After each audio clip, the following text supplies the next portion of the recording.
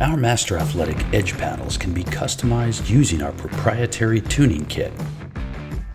You can add up to 20 grams of weight to a Master Athletic paddle to maximize weight.